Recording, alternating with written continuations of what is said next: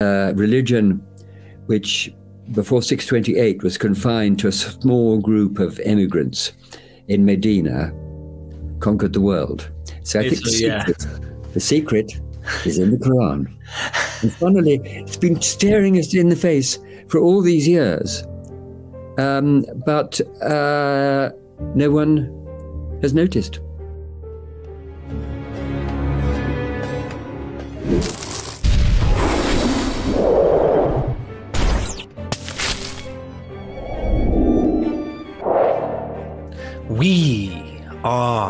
Myth Vision. Welcome back to Myth Vision Podcast. I'm your host, Derek Lambert. Special treat today on dealing with the time period where Heraclius, the emperor of the Romans, if you will, at the time in Constantinople, and the origins of, if we could, Islam and the Persian War that's going on between Constantinople, the Romans, and the Persians. We're going to dive deep today.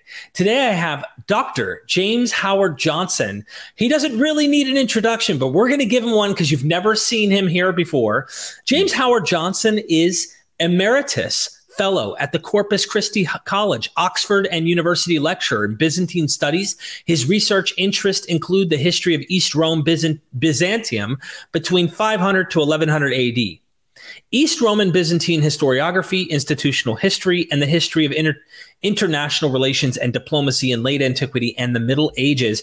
I went for the brief one, my friend. Mm. Can I call you James during our episode? Uh, please do. Please do. Uh, by the way, I'm a quarter American, so I'm very, very willing to be called. my grandfather, my father's father, was American from wow. New Hampshire, fought in the Civil War. Wow. On the north side. He was a drummer boy. That's made amazing. A fortune, made a fortune in uh, South America, retired to Europe. What? This is wild. Okay, so you literally are history. You're not just telling us history. Your family has some deep roots in historical situation here that you could trace back. So if you don't mind, uh, I want to introduce you and and get into this topic because I think this is important. Can you tell us a little bit about your background and what you special specialize in? And while you do that, I'm going to show uh, some of your books and give little plugs for anybody who's interested in helping us out here. Oh Lord, you want me to talk about my background? well, uh, sort of typical uh, English Scottish uh, background. I'm educated privately went as an undergraduate to Christchurch, uh, one of the largest colleges at Oxford, uh, in 1960. Uh, finished my first degree, which was in classics, in 1964. And then, primarily, out of nervousness of going out into the world, having led a very secluded uh, existence until that point, I stayed on to do research. And uh, I chose to do it in uh, a field where my knowledge of uh, the, the, Greek and Latin languages and of ancient history uh, would be of use. Uh, but the continuation of it into the early uh, into the early Middle Ages, where much less research had been done. So my life has been remarkably uneventful. I moved in 1971 from my undergraduate and graduate college of Christchurch to uh, Corpus Christi College, as you've already said.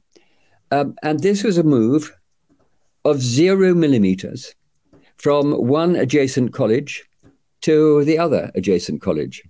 So that you could say is a life in which no progress whatsoever uh, has been made.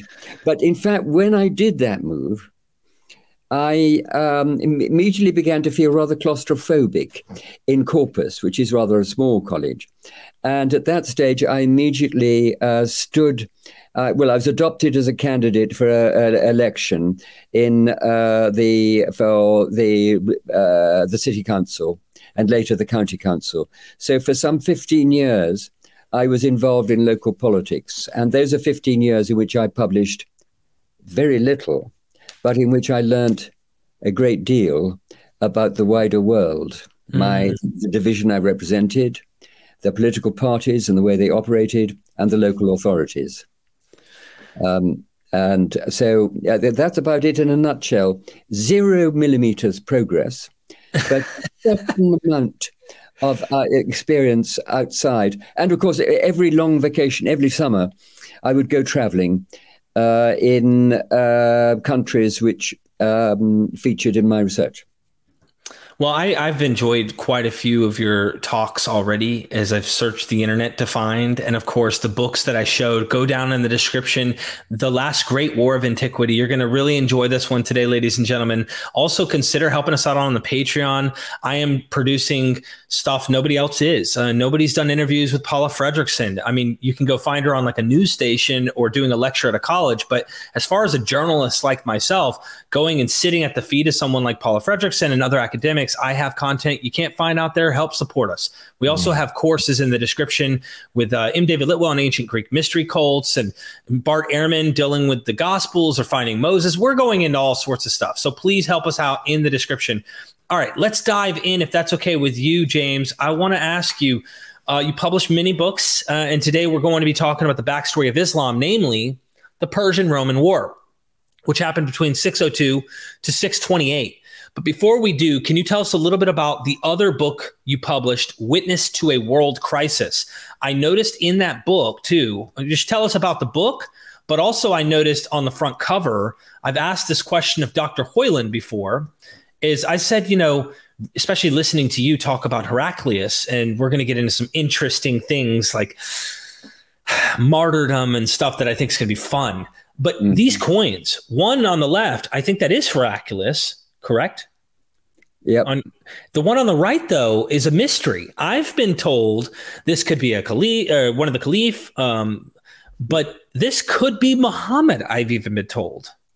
Uh, could be, but I think uh, it, it's virtually certain that it is. Um, I mean, it's the formidable figure of a standing caliph. That they're known as a standing caliph coins. Uh, uh, and you have to remember that, that this is an Islamic coin. Uh, that dates uh, uh, so in, in, a religion in which in which th- th- in theory the human figure is banned um, but it's an early it's an early coin a sort of threatening coin mm-hmm. uh, issued I think in the six in the 690s okay when things are hotting up so, what's this book about briefly? And we'll continue. Uh, right. Well, it, it's just uh, its origin was that I um, uh, I'm writing about. I was basically I started writing about all the sources uh, um, um, written at the time, and then a generation or two later, and then much later, uh, from which one could begin to piece together the last great war of antiquity. But um, and then I realized it had got so long that it better be published independently. And then it seemed to me to be rather silly uh, to, to, have done all this work to produce the sources about the last great war of antiquity when I could, they also deal with the origins of Islam. Uh, and so basically, it turned into uh, a, a uh, systematic analysis of all the primary material of real value uh, that covers the seventh century, when the whole um, structure of the world uh, in the Middle East changed with the rise of Islam. So it's basically, uh, I'm doing actually, I'm continuing. Robert Hoyland uh, started on this uh, this sort of work in his first book, seeing Islam as others saw it. Uh, this was basically a, a, a more, uh, I can't say more comprehensive, um, but a more focused study of the key sources, to which I then uh, added uh, a few chapters of reconstruction of the history of the seventh century. Um, wow. So um, it, basically, it's a sort of loving encounter on my part with all sorts of sources, beginning with one of the great poets of all time, uh, George of Pisidia, who uh, lived and wrote during the last great war of antiquity. So between 600 and 630 and on into the six, into the 630s a great great poet uh, sort of worthy uh, in in terms of language at least, to be placed alongside Shakespeare. Wow, that's this is a wonderful topic. I didn't realize how amazing this I, this topic would be until I started venturing into it realizing mm-hmm. the implications of it.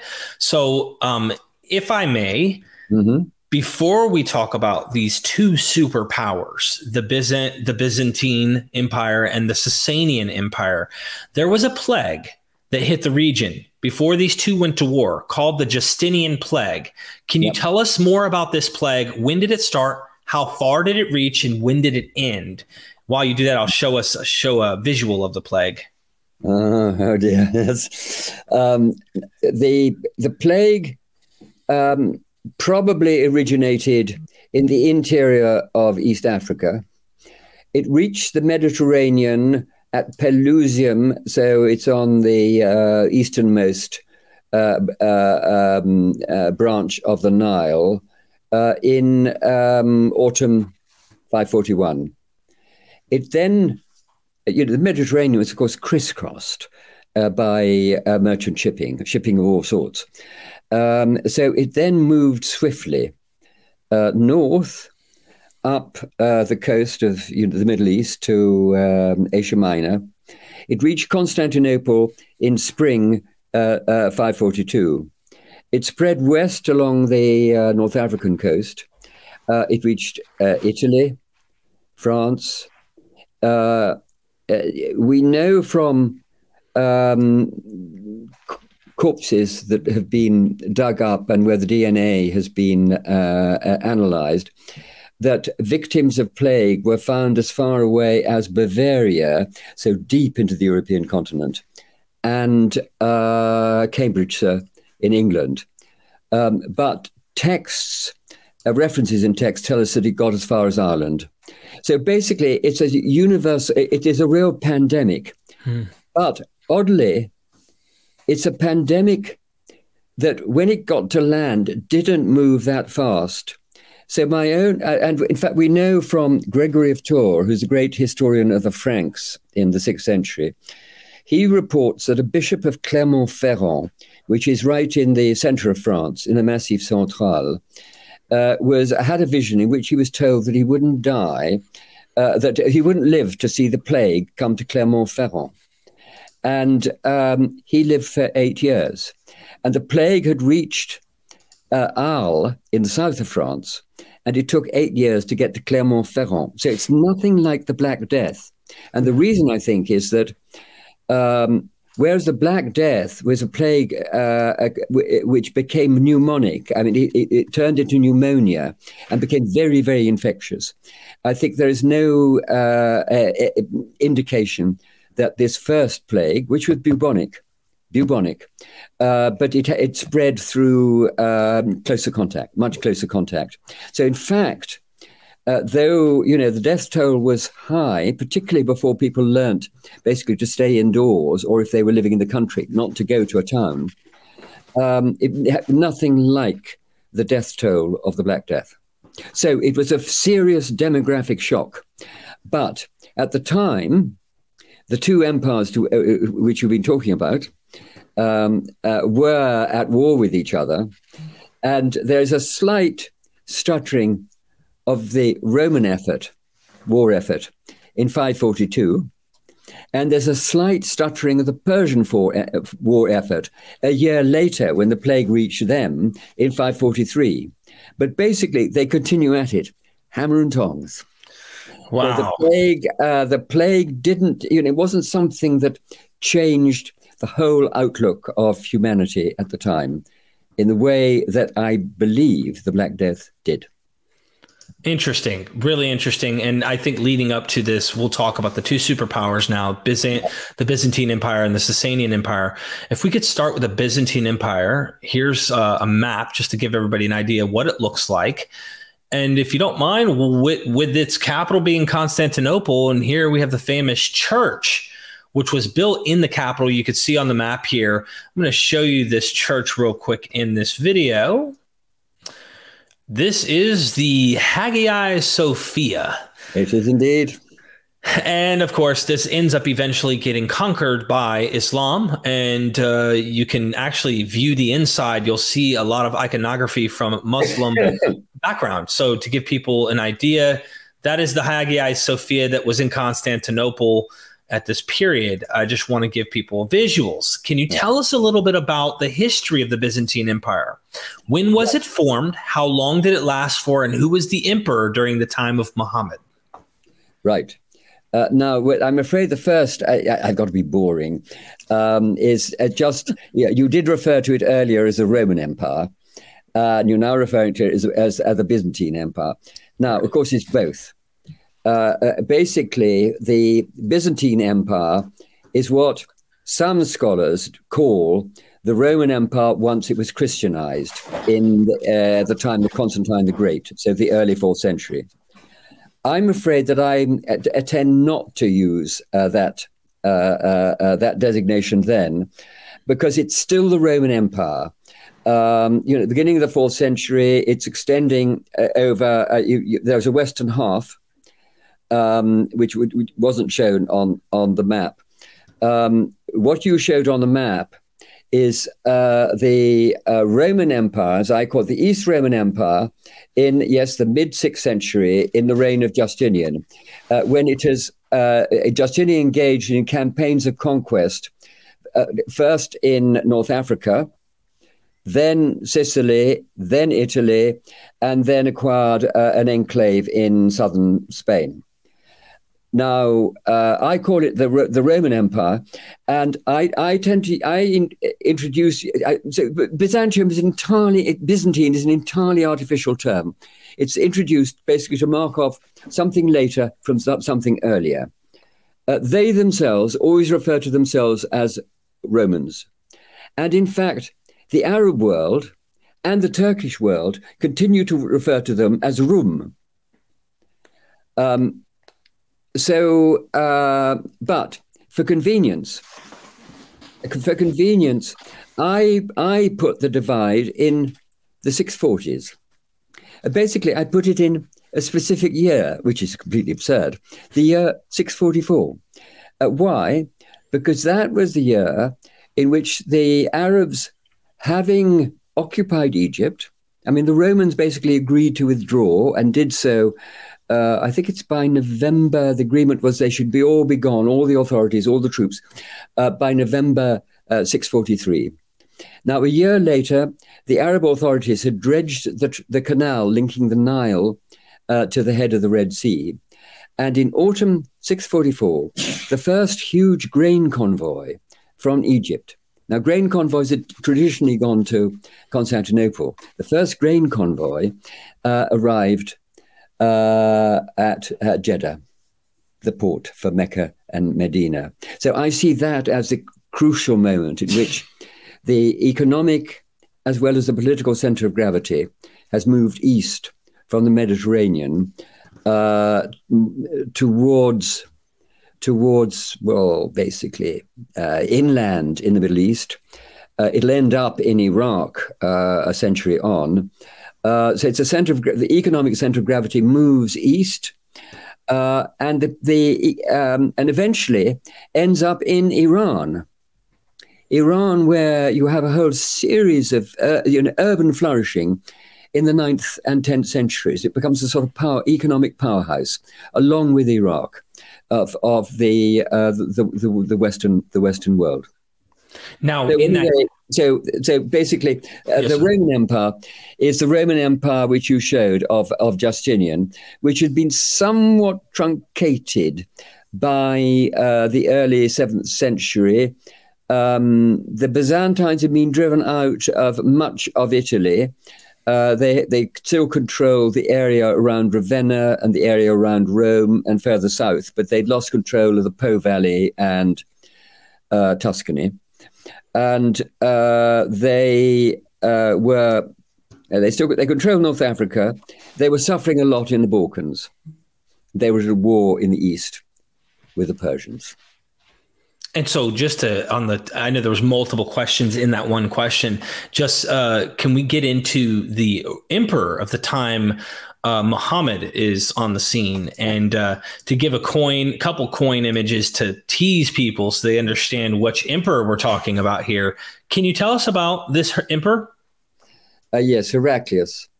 uh, Heraclius was the son of another Heraclius who'd been a successful, a successful general, not one of the greatest generals of the late uh, sixth century, but a successful general.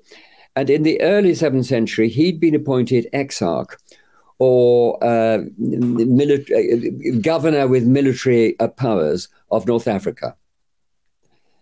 And uh, Heraclius, Heraclius was uh, his son. Uh, at the same time, there, there, um, no, I, and Heraclius had a, a cousin, Gregory. I think Gregory's father was also called Gregory.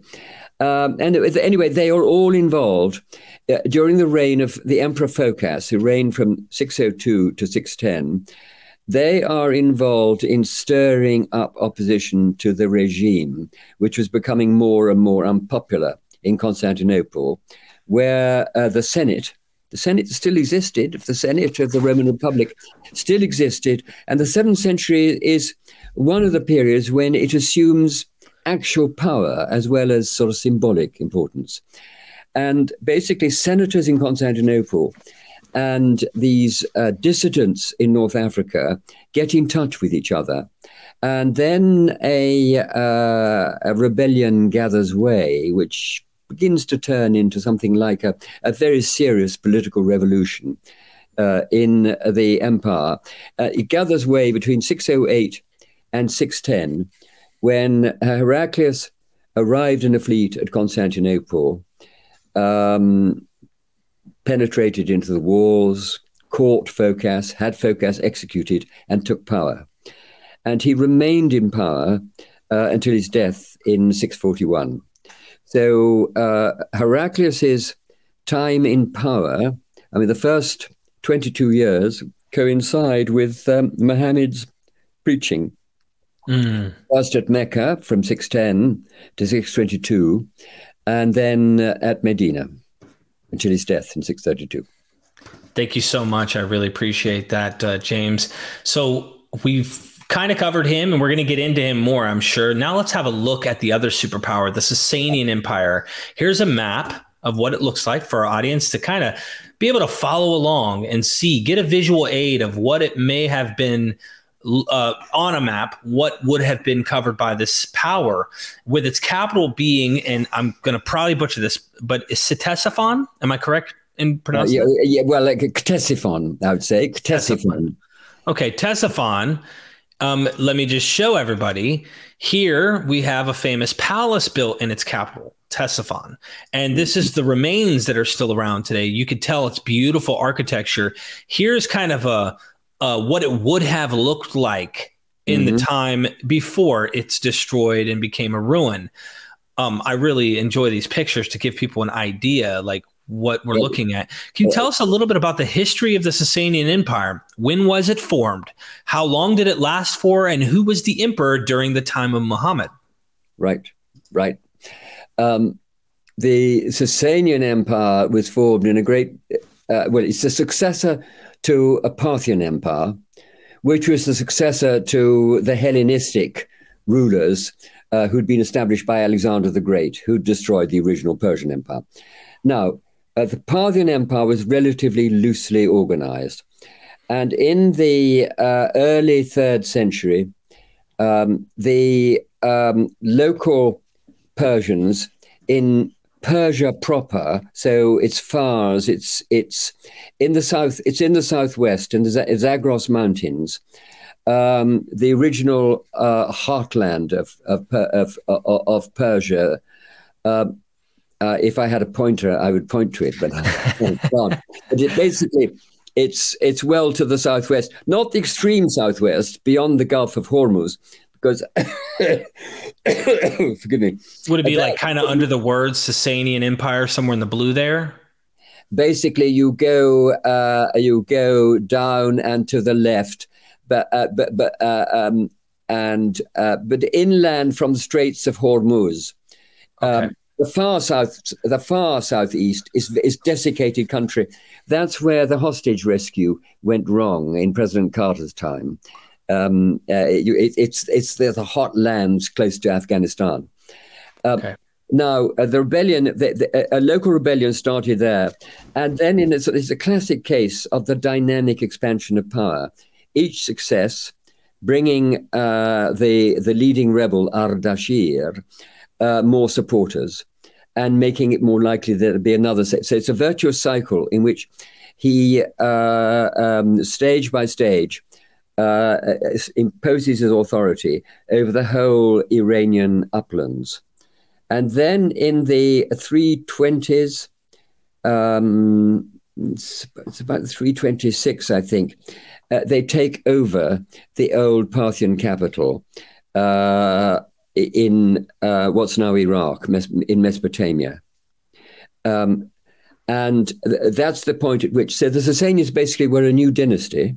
In what year is this, just so our audience is following? Um, now you, you, see you're pressing me too hard. uh, there is a there is a there is a certain amount of, of debate about the precise date, right? And um, I'm I think I'm going to say 320 326. Um, uh, but anyway, it's thereabouts. It's right. thereabouts. It's in it's in the three it's in the 320s, and what you have is a new regime, um, which is more tight. Well, it's more militarized. It's more centralized.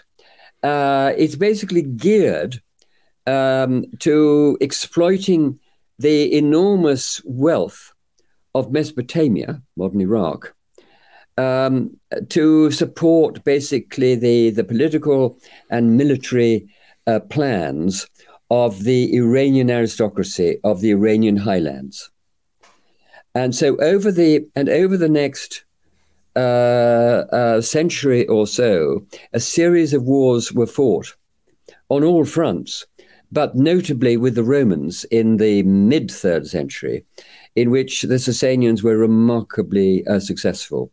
Uh, this is in the reign of Ardashir's son, uh, Shapur I, uh, and his most striking campaigns, where he goes through much of the Eastern Roman Empire um, were, I mean, in the in, in Middle East proper, uh, took place in the 350s.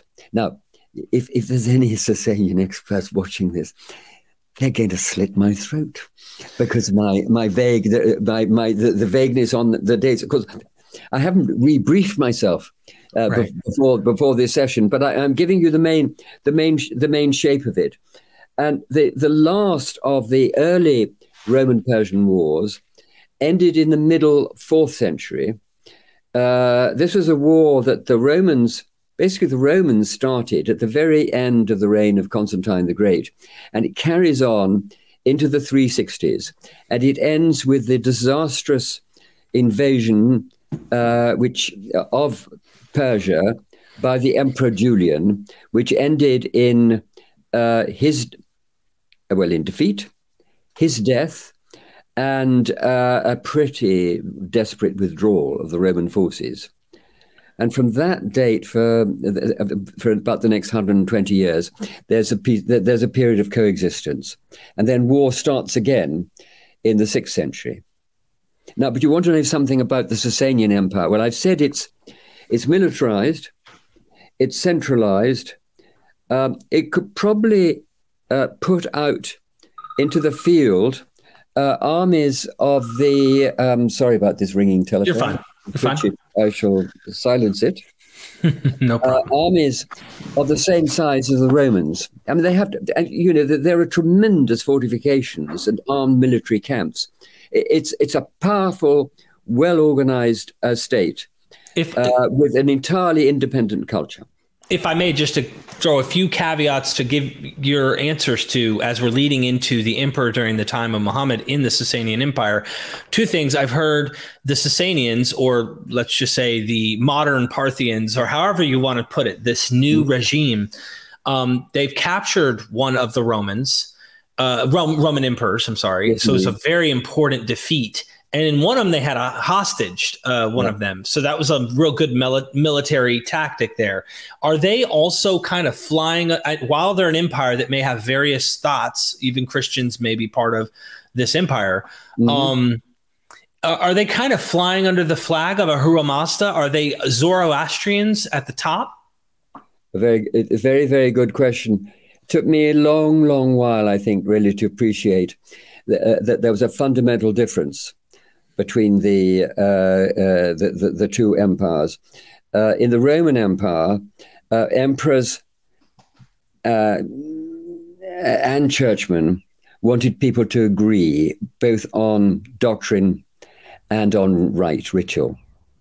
And it resulted in terrible, uh, you know, in conflicts of all sorts, which were carrying on through the sixth century and into the seventh century at the time of the last Great War.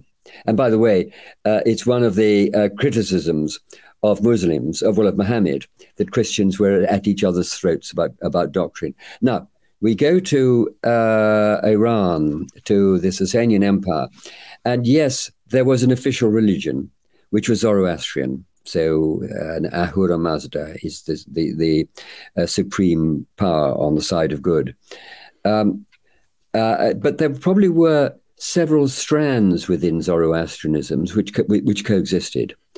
Uh, but also, uh, there were other religions very well established within the Sasanian Empire.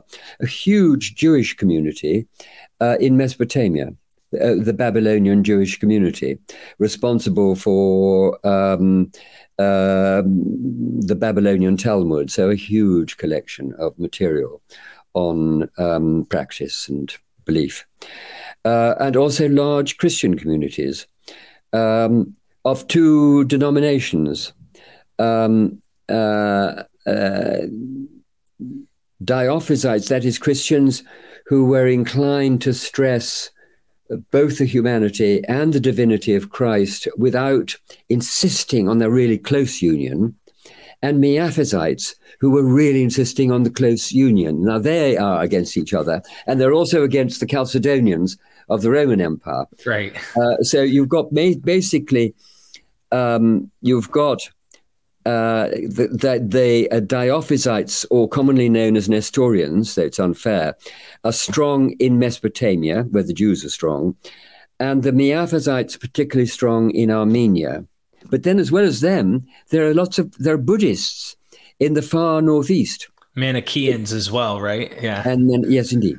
The Manichaeans were persecuted, but these others are basically it's a it's it's I mean, it's rather an admirable, tolerant regime. I like that, and I wish you know maybe we can learn from this uh, as in history, and we really could. Um, I love this. So, just to get to the actual emperor during the time of Muhammad, who's this guy?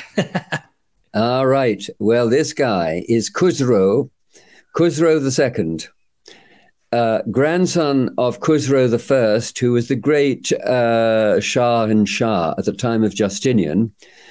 Uh, Khusro II uh, succeeded his uh, his uh, basically succeeded to the throne when his father Hormizd was overthrown and executed.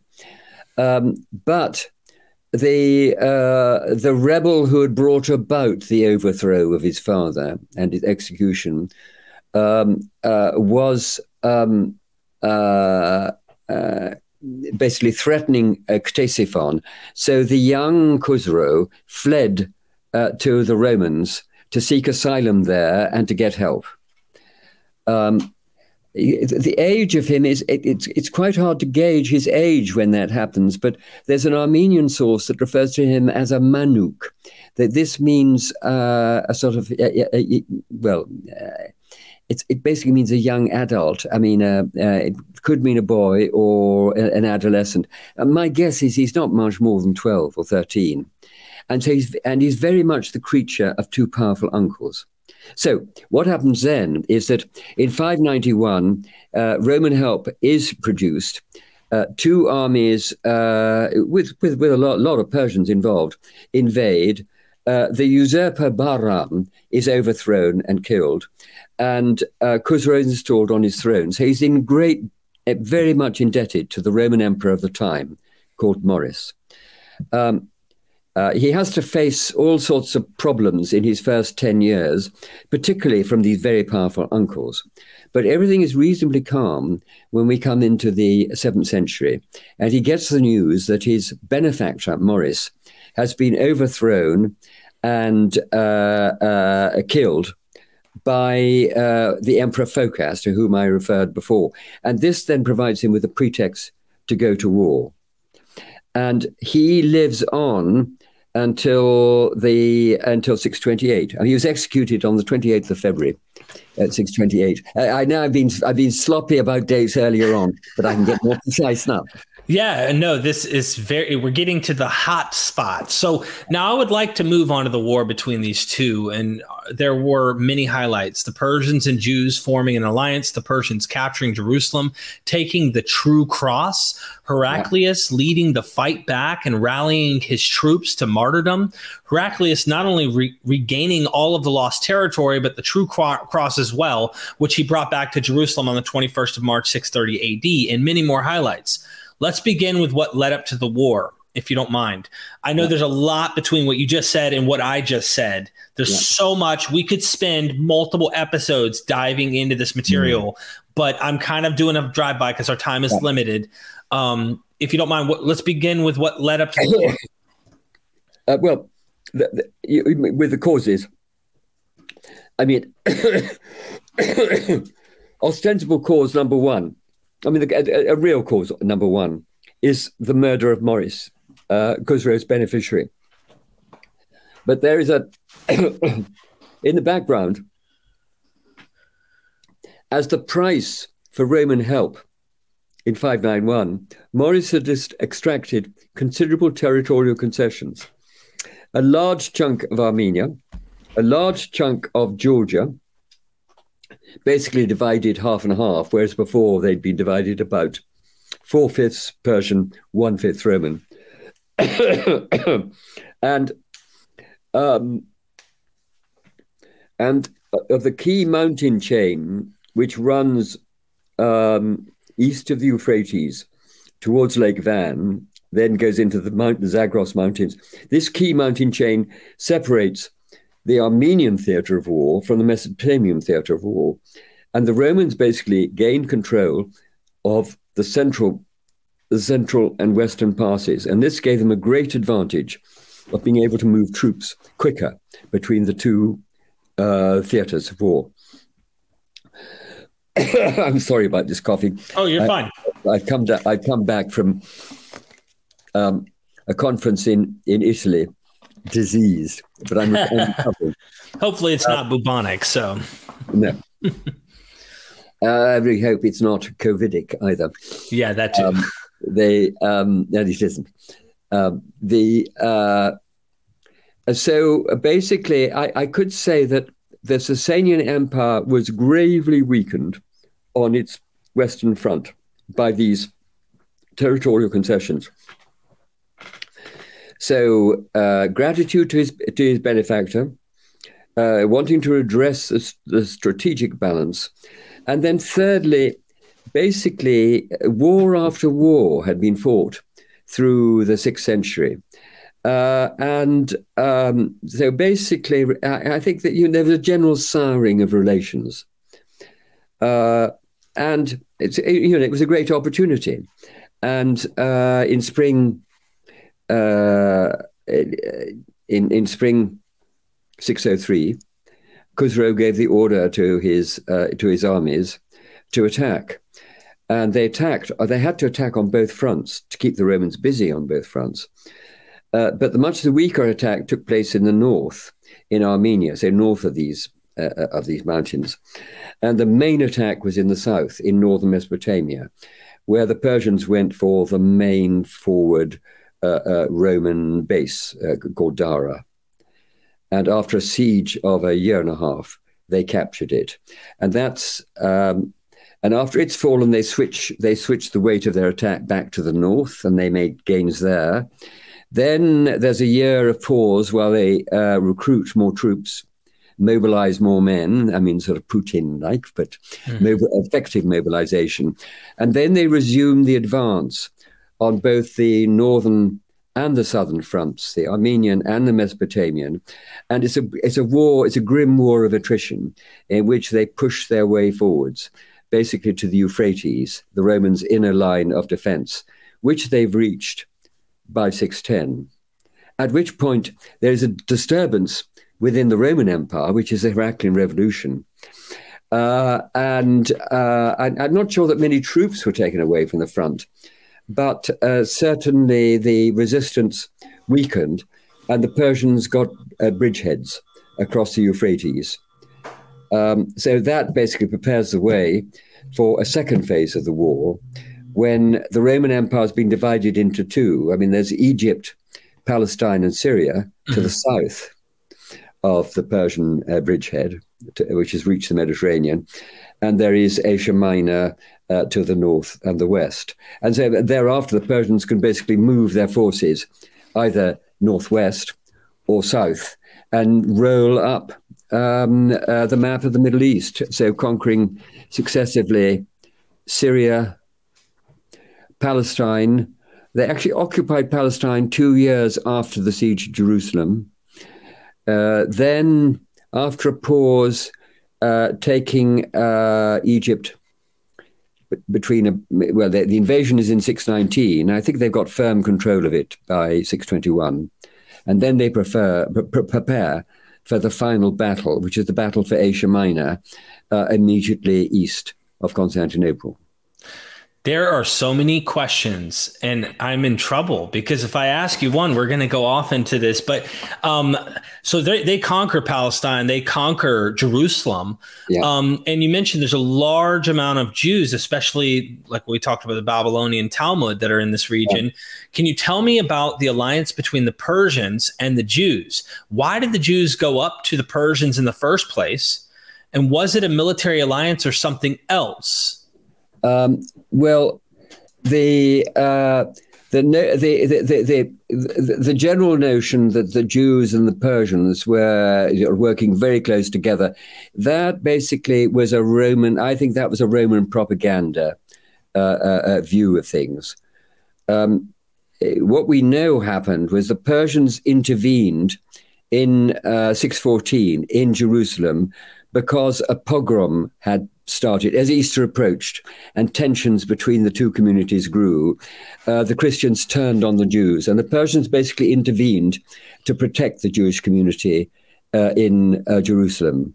And uh, after the fall of the city, uh, in fact, they didn't occupy; they left. They left a sort of um, a control commission in the city, but they removed all those they regarded as the troublemakers, uh, including the patriarch uh, and they, they removed uh, the, the, the, true cross. Now, but the, the, the task, the Persians had a delicate task because they had large Christian and large Jewish communities in their homeland, I mean, mm-hmm. in Mesopotamia.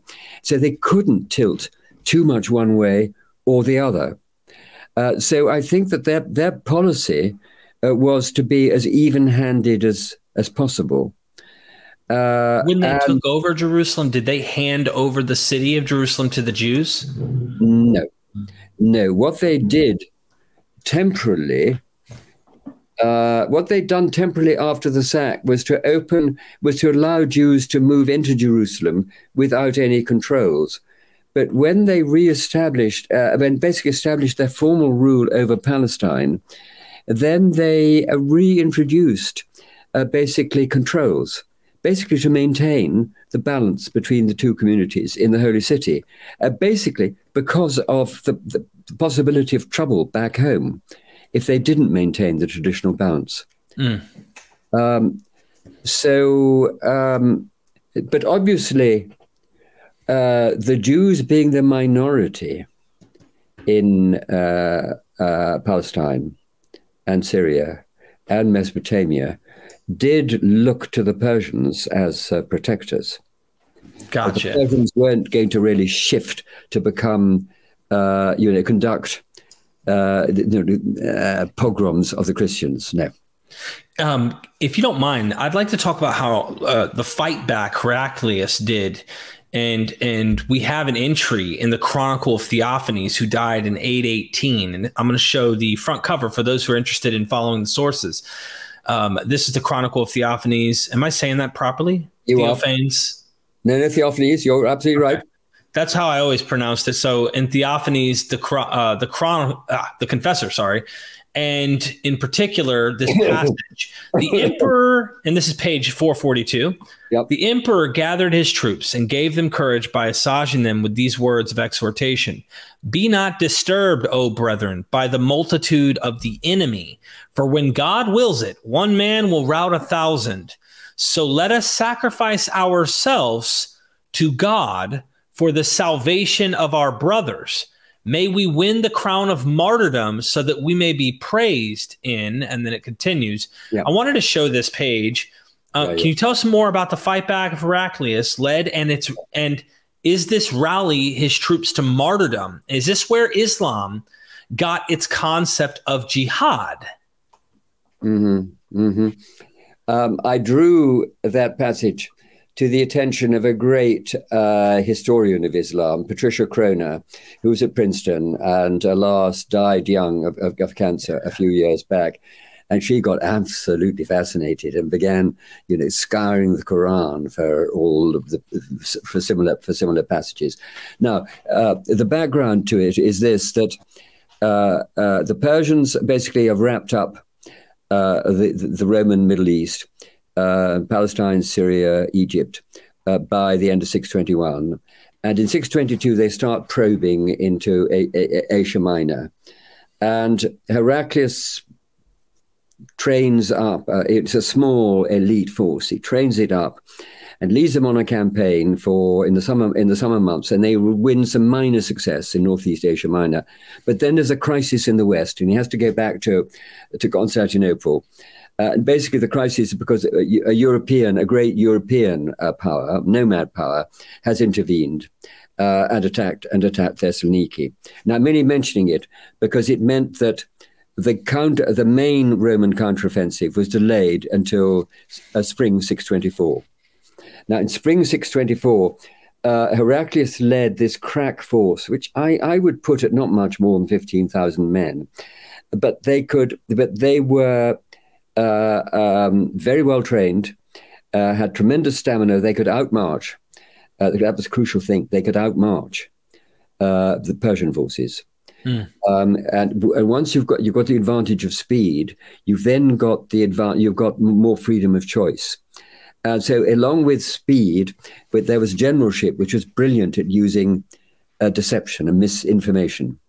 So, in the course of of 624, a Persian army, which was assembling to invade Asia Minor, found itself suddenly threatened and it dissolved. And the, the uh, and the Shah and Shah Khusro fled south. And basically, 624, Heraclius just could roam at will, devastating uh, the Persian northwest. That winter, uh, he wintered in what is now uh, ex Soviet Azerbaijan um, where he was obviously recruiting uh, uh, Christians from Transcaucasia, but also opening negotiations with the great power of Central Asia, that of, of the Turks. In 625, there, there's more uh, sort of operations in which this small Roman army is being chased by three Persian armies, but it's faster. It chooses the moments of combat and it, be, it beats them, uh, you know, one by one by one, and that uh, and it's in the autumn that autumn that Heraclius was withdrawing north to allow his uh, uh, Transcaucasian allies to go home. It's at the point when they they stopped facing a Persian army that Heraclius gave that speech, which you've just quoted, in which martyrdom is referred to. Mm-hmm, mm-hmm. Uh, now, that, in my view, uh, is uh, uh, comes from an official history of uh, uh, campaigns, uh, which was commissioned from the poet George of Pisidia. And the, the poet George of Pisidia uh, made use of Heraclius's war dispatches sent back to Constantinople. Uh, and uh, but inserted for particular highlights, inserted short poems of his own. And that we know is from a short poem of his own because we can detect the verse, the iambic verses. So this is the official account written immediately after the events wow. uh, by the official the official historian. So it's trustworthy. And, so, oh, I apologize. I was going to say, and and and, and basically. Uh, something of the same sort was said, not quite as clearly, uh, in spring 624 when the army crossed over into traditional Persian territory. And uh, that, I think, is where there's a phrase about death in battle providing entry into uh, paradise. But the yeah. word martyr isn't actually used. I'm curious to get your thoughts. Like, do are are we? Um, we don't have the best data, but is there good reason to think that this this these sayings of Heraclius have spread down into Arabia, and that Muhammad would have heard of Heraclius's bold claims, his his faith position on these things. We can't we can't rule that out. I mean, what I think is absolutely certain is that the, uh, uh, Arabs of all sorts, nomad and settled in Arabia, would have been um, uh, you know, aware of the great war being fought in the north and uh, some of the you know the apocalyptic fears of Muhammad, which show uh, uh, so uh, show themselves so forcibly in the earliest surahs of the Quran, uh, have their origin in human fears about what is happening to, to the world at that time. But whether a sp- specific thing like this would have got down there at that stage, I, I think I doubt. But what I would, but where I would locate the origin of this idea is, in fact, uh, nearly 200 years earlier. You see, when the Armenians, in uh, the uh, first in the 440s, and then in uh, 4, 480 to 482, rose up against the Sasanians. Um, they it, they were uh, much encouraged. I mean, they were obviously in a very weak position, I mean, they were. Um, um, uh, well, I mean, they, they, were, as it were, a very, very feeble Ukraine having to face, having to face, right. to face Russia, and so, and the clergy did what they could to encourage them. And we have speeches reported in the sources, in which there are numerous references to martyrdom. They should fight to die for glory, uh, to them having having halos. So I think it's current in the Christian world. It surfaced before in Armenia in the fifth century, and it's um, it's sort of picked up. Quite natural to pick it up. You've got a, monotheist uh, uh, uh, religion in the Roman Empire. It's quite natural to try to harness religion to the cause of the cause of war. Right. Uh, so it's not too big a leap for Heraclius to make, and for for uh, Muhammad down in in Mecca? Well, um, the uh, the uh, there plainly are important Jewish and less important but still significant Christian influences discernible within the Quran. I mean, yeah. divinely inspired the whole thing may be, but it's come through a human human inter- intermediary. Uh, so, uh, but again, in Muhammad's case, as in as in uh, uh as in Heraclius's, as in the Armenians in the fifth century, you've got a weak, a, a, a relatively weak um, uh, antagonist facing much more powerful enemy. So really, it, it's it's it's a, it's a fairly desperate late move. Mm. And uh, I argue that that is the position of the Ummah, of the Muslim community, in um, by 624, when they are basically under attack from the Medinans. And that is when Muhammad, after the Battle of Badr, first declares that the those who've died were martyrs. Thank you. Thank you for that answer. I'm this this is the juicy stuff I think everybody's been looking for. Now let's talk about what happened on the 21st March 630 AD uh, when Heraclius brought back the true cross to Jerusalem. And let me show some images real quick here for people. These are beautiful images right here. Yeah. Um, all of these are different paintings, um, art of Heraclius barefoot there, walking it back in. Um, here's another one, really clear. That's uh, beautiful art.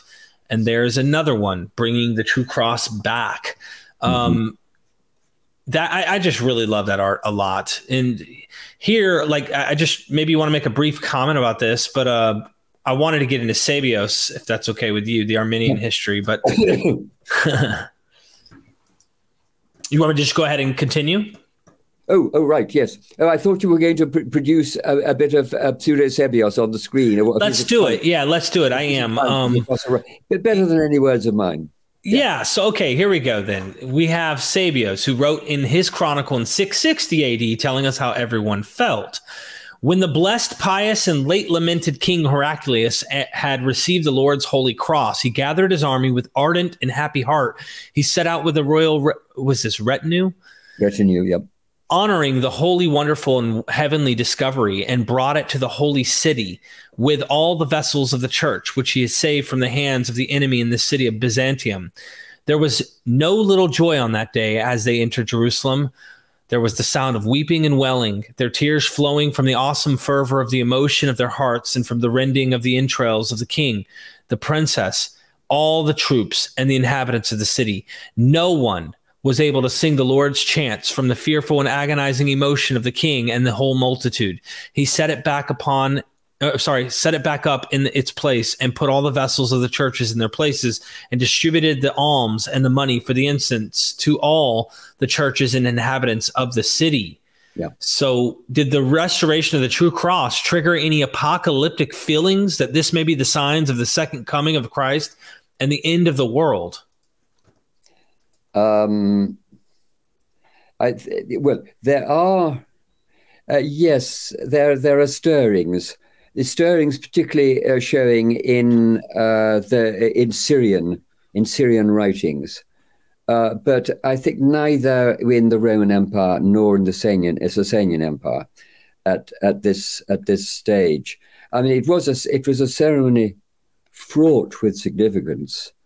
Um, I should just say that uh, the Roman, uh, when the war was going really wrong, so, uh, you know, in the run up, uh, the, the, the, late sort of 618, 619 to 621, uh, that's when the Romans could do very little. they could, of course, pump out propaganda. And that's where they focused, they began to focus on the true cross and the true cross became a sort of a central uh, uh, uh, a central feature. And it was going to it was going to be the uh, real symbolic trophy of victory. Um, now in um, in uh, six by this time in 630 there'd already been two rounds of negotiation. There was going to be a third. But basically the peace was pretty much was pretty much uh, fixed um, and Heraclius would be simply sorting, uh, reimposing Roman authority over the recovered provinces after after he'd been to Jerusalem. Uh, the ceremony itself, it's a very very significant day. You see, according to the Easter Chronicle, which was written at about this time, uh, which probably ended with an account of this ceremony. Uh, the th- the third day of creation, when Wednesday, when uh, the sun and the moon, the stars were created, that was when time began because you could start to calibrate it. Uh, and that was Wednesday, the 21st of March for the, for the Easter Chronicle. Now, the 21st of March was also the equinox. That is the start of the Persian New Year festival, Nowruz, uh, at, at which point the powers of, of good began, uh, would re-emerge and prevail over the powers of evil on uh, on uh, on earth. So it's a day absolutely fraught with with uh, significance, mm. and that was a uh, so that was a ceremony uh, which then would um, resonate through Christendom uh, for centuries to come, and in particular.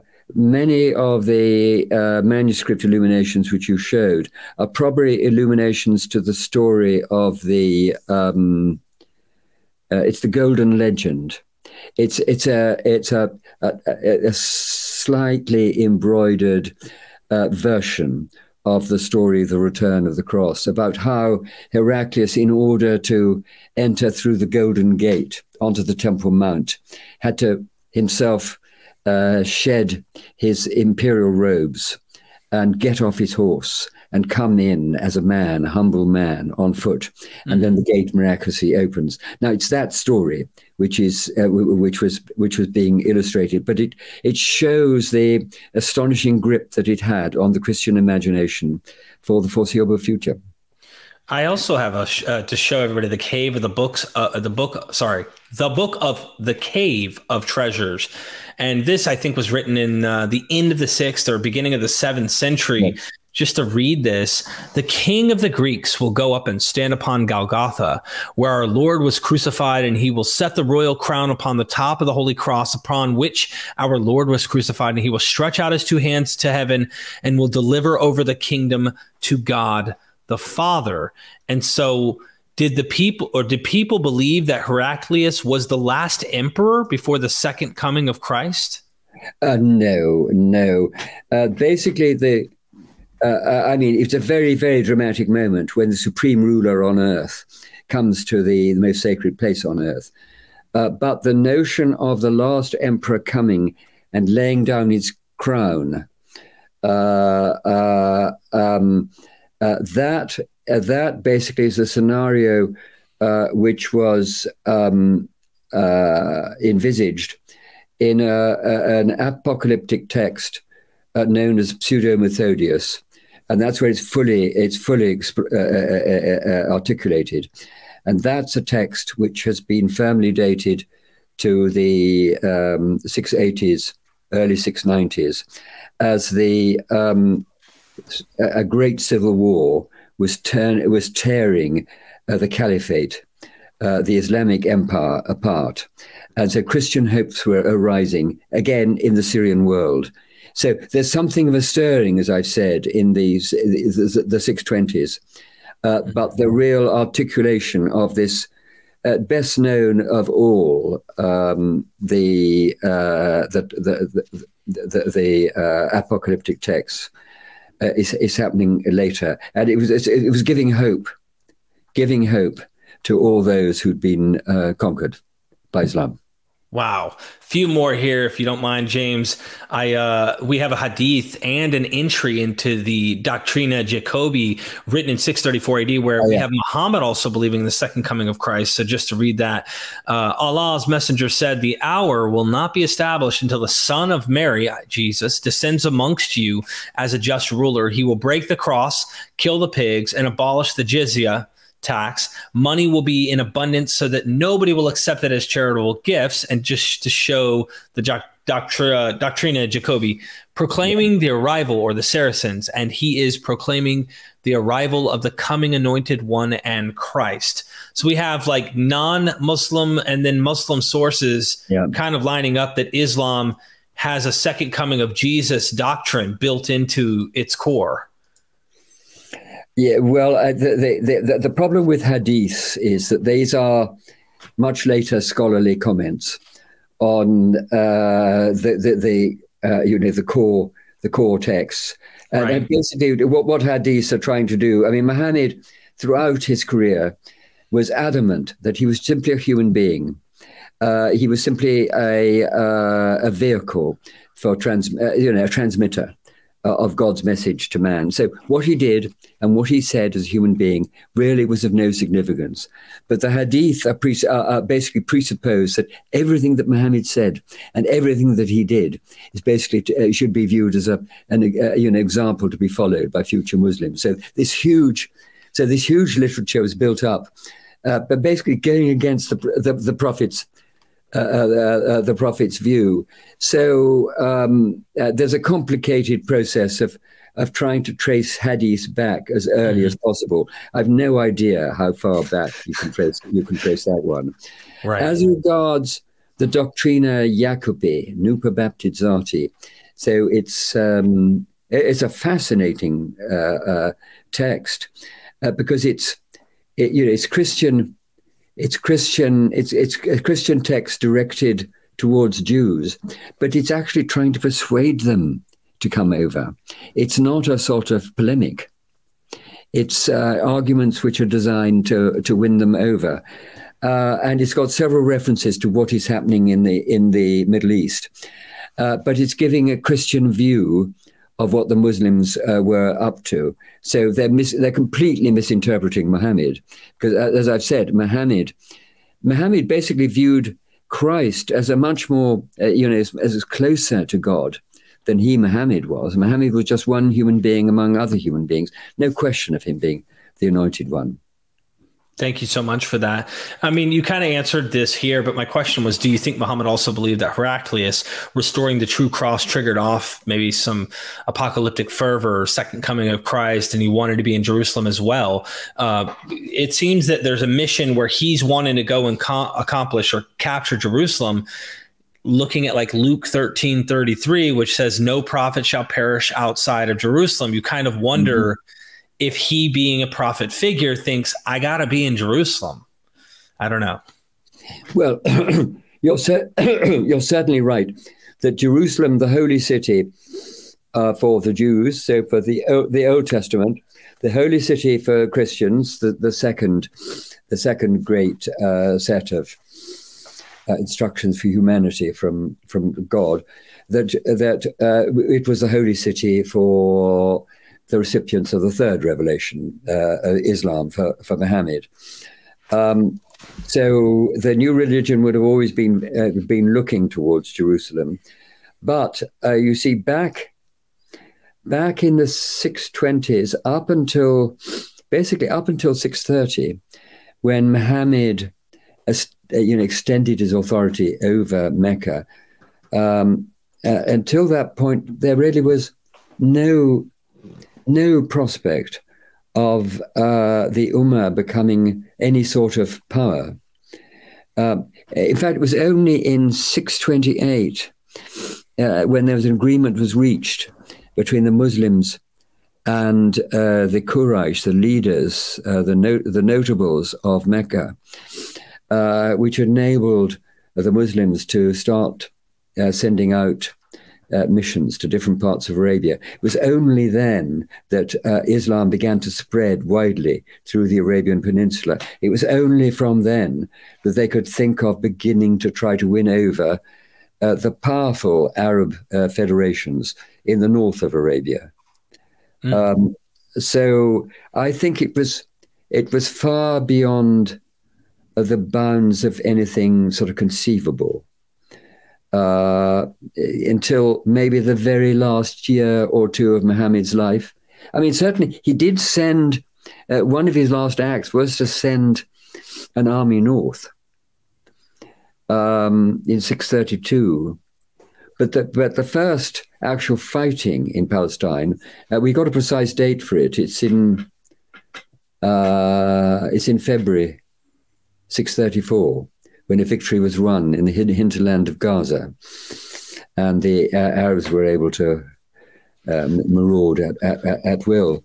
Uh, so um, I'm in two minds. Um, I mean, I think you know Muhammad viewed himself as a prophet uh, to the Arabs in the first instance, but to uh, humanity at large in the second. And and Jerusalem was the holy city. So I'm sure it would have been, in the longer run, a target, as of course it was. Thank you. One more, and I'll let you go here. I want to move to Sebeos again in this passage about Jews coming to Muhammad. So Jews went and gathered at the city of Edessa. And then, um, just to skip, taking desert roads, they went to Tachkastan, to the sons of Ishmael, summoned them to their aid. And this is in the history of attributed to Sebeos. Yeah. Um, my question about this is the Jews, after capturing Jerusalem with the Persians, lost it again due to the peace treaty they had made between Heraclius and the Persians. Do you think that the reason the Jews went to Muhammad was simply that they wanted to recapture Jerusalem again? Um, well, I think I wouldn't take. Uh, I, I, think, I mean, the history attributed to Sebeos is, an, you know, it's a wonderful text, uh, and because of the date of its, it, uh, you know, it's uh, it's written within 30 years of the death of the prophet. Now, the passage that follows the one you were quoting yeah. is uh, remarkably uh, sound in terms, you know, Muhammad is a merchant, etc., and, and their, their beliefs. But this passage about the Jews, I think we're en- then again entering the minds of Christian at the time. So it's rather like uh, what's going on in, you know, in, in, the views in North Africa about the prophet. Uh, this is a, a, a, an Armenian view. So Armenia, well to the north of uh, of Palestine, an Armenian view, um, uh, knowing that there were close connections between Jews and uh, and Muslims. Uh, you know that there had been in Medina. Um, it, it's a it, it's it's very much it's a Christian view of it. Um, so I dare say there is some truth. To, there is some truth to it. I'm sure there were connections between north and between north and south, but the the whole tale of, as it were, the promised land and it's promised to Arabs as well as Jews because they're closely related. That I think is a is a Christian uh, is a Christian sort of rationalization of what was happening. I love this. Thank you for your time, Dr. James Howard Johnston. I have questions about the Quran I'd love to get into with you. I'm thinking, especially with this Persian Roman war um, in mo- upper Mesopotamia, there's this, uh, there's just like almost apocalyptic mythological narrative of a wall that we find within the Quran as well, that dual yes, and stuff like that needs yeah. to, like, there's some apocalyptic mythological thing that's going on. I'd love to dive into this with you and get your take. Mm-hmm. Um, I don't know if you want to tease us now or if you want to just follow up with another episode. I think let's let's follow up with another episode um, on on the wall that keeps out Gog and Magog. Yeah, I'll need to do a little bit of prep on that. Okay. But on the Quran, I mean, I have a I have a, I will, I, I, I, I, think I've referred to it that I, I, went to a conference recently on the Quran, which was being examined as a text. And everyone else was there, was looking at the text of the Quran and what had gone into it. But I was interested in the text of the Quran as a, a major actor in uh, the seventh, in the events of the seventh century, of its effects. And when I can read within it key passages which tell one uh, I think, tell one how it was that this uh, religion, which before 628 was confined to a small group of immigrants in Medina, conquered the world. So I think the, yeah. secret, the secret is in the Quran. And finally, it's been staring us in the face for all these years. Um, but uh, no one has noticed. That I think that's a perfect way to end this episode. Everybody, go in the description, get the books, help support us on the Patreon. We love educating the world and giving you things you're just not going to find out there. I appreciate your time. Dr. James Howard Johnston, please get one of his books. And until next time, ladies and gentlemen, are there any final words from you, James? No, no. Thank you. We are Myth Vision thank you